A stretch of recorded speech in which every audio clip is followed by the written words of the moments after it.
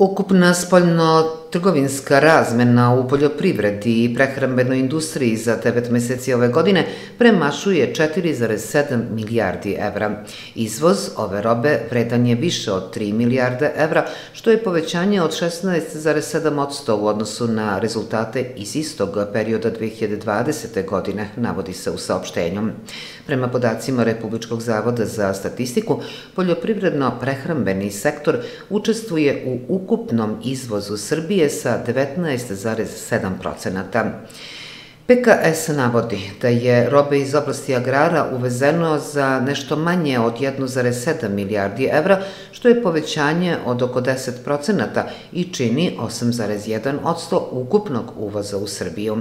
Pokrivenost uvoza i izvozom je 186,5%, dok je od januara do septembra minule godine iznosila 176,9%, saopštila je komora.